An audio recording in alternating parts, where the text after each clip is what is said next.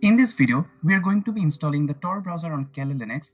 Tor browser will route all your traffic through the Tor network, which will hide your IP and location and give you 100% anonymity. So let's get started. First, open up your default browser. I'm opening up Firefox.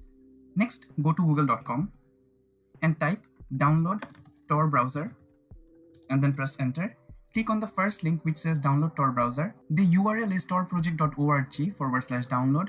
In this page, click on download for Linux and your download will get started. Wait for the download to get finished. After the file has been downloaded, open the folder that your file got downloaded on. I can see that my file got downloaded into the downloads directory. I will right click on the file and click on extract here.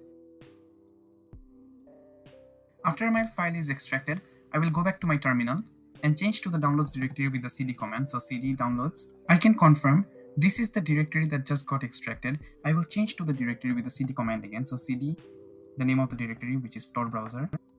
In this directory, I have one more directory which is called browser and I have a file which is called start.torbrowser.desktop. We do not have to care about this directory.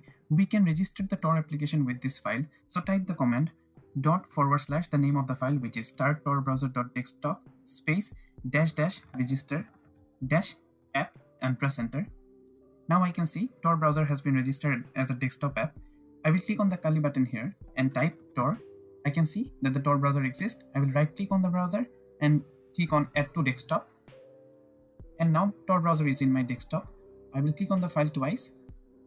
I'll click on mark executable. I can now see my Tor browser has started. I'll give a check mark here. It will always connect to the Tor network when I open up my browser and then click on connect and my network is being established. Wait for the network to get established and my network got established and I'm in the Tor network right now and the default search engine of Tor browser is the DuckDuckGo but if I go to dnsleaktest.com, I can see that it is showing my location in Germany. I can tell you for a fact that I'm not in Germany right now, and it's also giving me a completely different IP. So that is how you install Tor browser on Kali Linux. Thank you so much for watching the video.